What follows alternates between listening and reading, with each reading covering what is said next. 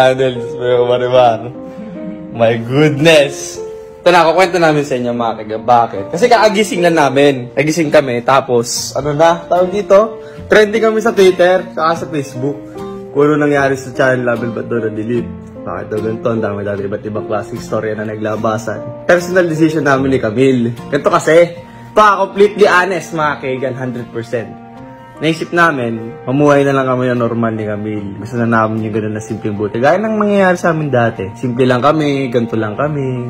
Ayaw na namin yung masyadong mataas, ang daming nakakakita sa amin. Marangya. Ito, legit to ha, hindi to sa pagiging ungrateful. Ito yung nararamdaman namin ha. Ito yung naramdaman na namin na gusto namin kami na lang nakakakita sa relasyon namin. Alam mo yun, yung tamang drama na ganun. Tapos, natulog kami. Di tayo, di, dinilit ni Camille tayo. Sige na, ayoko na. Gusto ko na lang simpleng buhay. Ayoko na ng ganito. Ba na, nape-pressure na tayo. Ganito. Parang yung, yung buhay natin, yung relasyon natin, miikot na lang sa YouTube.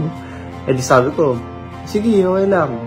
Pala ka, anong gusto mo. Parang ang pinapatunayan namin sa isa't isa, na wala kaming pakialam sa YouTube.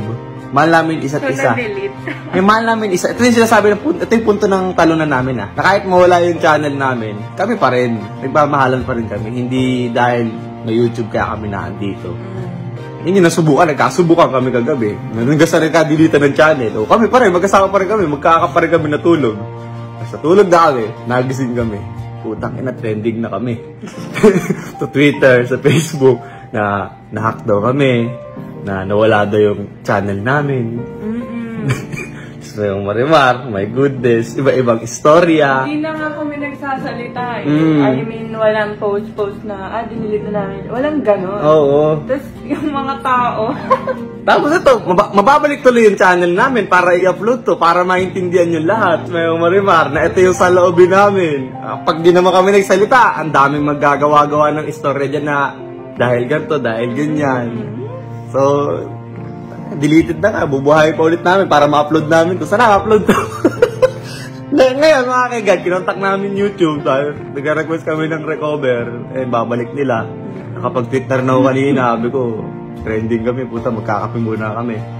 Then yun, sabi naman nung YouTube team, bakit doon na-delete? Sabi ko, wala, eh, nagkatampuhan po kami. Nagtawanan pa sila. Small arguments, pero marimar. So, yun, naintindihan naman nila. Chillax lang daw muna kami ngayong araw. Waiting lang ako kung kailan mababalik. Sana, irespeto niyo yung decision namin, yung pagtatalo namin. Kasi hindi, hindi rin madali. Mahirap. Yung marimar. Isipin mo. Ito, ito, honest na kami nito. Ako, ano yung nasa puso namin.